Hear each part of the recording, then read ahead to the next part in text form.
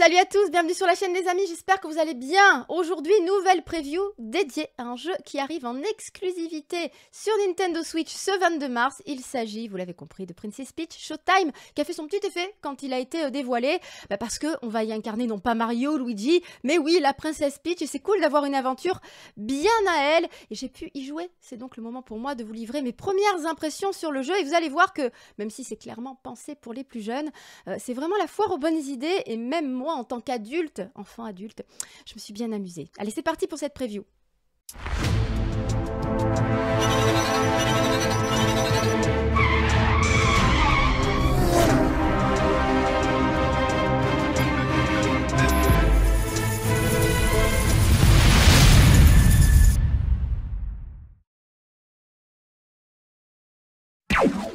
Alors ici, point de Mario ou de Luigi, on est vraiment dans une aventure dédiée à la princesse. Une princesse évidemment entourée de ses Todd.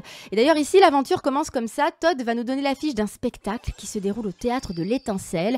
On va évidemment décider de s'y rendre et quand on arrive, on se rend compte que c'est le chaos. Syrah, le méchant du jeu et sa troupe de grappes maléfiques se sont emparés de la scène du théâtre. Donc, eh bien, on va avoir la mission d'aider Stella, la gardienne du théâtre, à tout remettre en ordre. Et on va donc tenter de sauver les spectacles. Voilà le pitch, ou devrais-je dire le Princess Pitch du jeu. Je l'avais pas préparé celle-là, mais je la trouve géniale. En tout cas, euh, c'est très mignon. C'est vraiment très très joli visuellement. C'est très propre. Je trouve que ça fait très bonbon. Et on sent tout de suite que ce soit dans le visuel, dans l'intention générale, que ça vise surtout les plus jeunes. Euh, beaucoup plus que sur un Mario euh, ou même un Yoshi. C'est vraiment un jeu pensé pour les enfants mais aussi pour les joueurs euh, plus occasionnels ou moins aguerris, parce que même en tant qu'adulte, vous allez voir, le gameplay est très accessible, mais il est aussi très satisfaisant. On est chez Nintendo, c'est l'école du gameplay. Donc ici, euh, on va jouer avec deux boutons d'action, vous voyez, c'est très simple, hein. le bouton du saut, le bouton du coup, et ça fonctionne trop trop bien. Au global, encore une fois, c'est très facile, et à la fois, il y a plein de petites euh, subtilités, plein de moments où on peut se faire avoir sur un malentendu. Donc on va se retrouver embarqué dans ce théâtre, euh, à poursuivre ces mystérieux petits personnages masqués. Euh, et ici, on va traverser différentes scènes. Chacune des scènes eh bien, représente un niveau au cœur du théâtre, chacun offrant un thème particulier et surtout dans lesquels Peach va obtenir des capacités différentes selon le thème en question. Donc on va pouvoir utiliser différentes armes, avoir différentes compétences et ça c'est plutôt cool parce que euh, vous allez voir que ça offre un gameplay finalement varié, même s'il est simple, c'est riche. Dans cette preview, on a donc pu tester les niveaux épéistes, ninja, c'est mon préféré pour l'instant, cowgirl, pâtissière. Euh, on a pu aussi voir, mais pas y jouer, le niveau patineuse artistique. Donc déjà, on a eu quand même une bonne vision de ce que le jeu allait euh, proposer, avec à chaque fois bah, des possibilités différentes, hein, puisqu'on va avoir des capacités, des pouvoirs euh, qui sont relatifs au niveau. En tout cas, à chaque fois, Peach, elle est d'une classe complètement folle. Je trouve qu'elle est de plus en plus élégante, et depuis le film Super Mario Bros, c'est vraiment un personnage qui, me, qui me séduit de plus en plus. En tout cas, notez qu'au final, on aura 10 transformations, donc avec 10 types de pouvoirs affiliés à, ces dernières.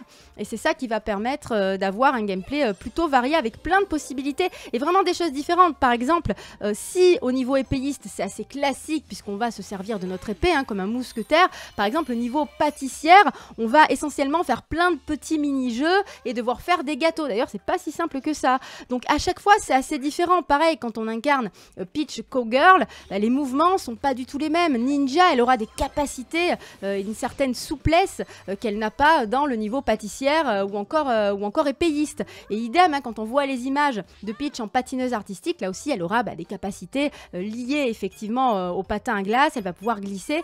Et ça, c'est vraiment, c'est vraiment sympa. Je trouve que ça apporte de la variété. On va donc évoluer dans des niveaux assez simples où il s'agit essentiellement d'avancer hein, en se débarrassant d'ennemis pas très résistants. On doit trouver un nombre d'étoiles donné. Ça, j'adore hein, parce que, comme toujours, il y a plein de petits passages secrets, donc il faut vraiment lire son environnement.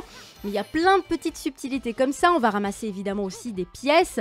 Mais comme je le disais, il y a aussi des moments où c'est un peu plus corsé. Par exemple, euh, sur le niveau des ninjas, on va avoir des ennemis qui sont armés de lampes dont on va devoir se cacher. Donc là, on peut se faire avoir très facilement en réalité, hein, euh, sur un malentendu si on fait pas attention. Mais évidemment, à chaque fois, il n'y a rien de vraiment punitif.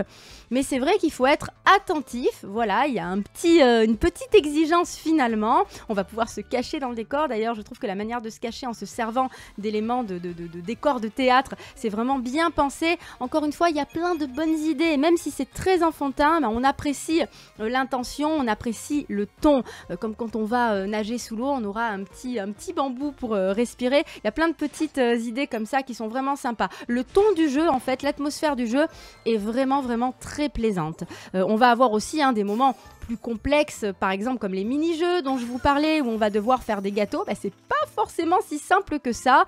Encore une fois, euh, il va falloir euh, voilà, gérer pour être précis. Il y a pas mal de moments où il y a vraiment cette notion de précision. Il y a aussi eu un moment euh, que j'ai trouvé même plus exigeant, où la princesse eh bien, en fait, avance seule à vive allure, c'est-à-dire que l'écran avance assez vite et il faut juste gérer justement les sauts et les mouvements de la princesse. Et ici, c'est moins fastoche que prévu. Et j'ai trouvé l'idée intéressante en fait, hein, puisque euh, voilà, on peut, très très vite se faire avoir parce que au-delà de sauter au bon moment ou de choper euh, des pièces, ben, on va avoir des ennemis au milieu et on peut encore une fois très très rapidement ben, se faire avoir. Donc euh, ici, c'est pour ça que je dis que même si c'est accessible, même les adultes s'amuseront. Et encore une fois, c'est la foire aux bonnes idées. L'ambiance, elle est délicieuse sur tous les niveaux qu'on a pu faire, que ce soit encore une fois, hein, sur euh, le niveau épéiste, euh, ninja, cowgirl, le niveau pâtisserie, il est vraiment cool parce que ça apporte vraiment autre chose en termes d'intention. Moi, j'ai adoré le niveau ninja parce qu'on va pouvoir euh, sauter sur les murs, se cacher, et puis il y a vraiment cette ambiance voilà, japonisante que j'ai vraiment appréciée. Et puis, voilà, on a vraiment aussi ce, cette rejouabilité qui sera de mise parce qu'il y a toujours un moment où on va rater une étoile, parce qu'il y en a vraiment qui sont très très bien cachés, même en cherchant très très bien. Donc là, voilà, ils savent faire Nintendo sur ce genre de choses. Et j'ai trouvé que c'était vraiment efficace. Donc à voir les autres niveaux. Encore une fois, il y a 10 transformations. Pour l'instant, on en a vu euh, une, deux, trois, quatre, cinq transformations. On n'a pas pu jouer, encore une fois, au niveau patineuse. Mais, euh, mais c'est vraiment très très cool. Et en termes de, rejouabilité, euh, il y a vraiment des choses à faire avec toutes les étoiles à découvrir. Et probablement plein de secrets qu'on n'a pas encore pu voir sur cette preview.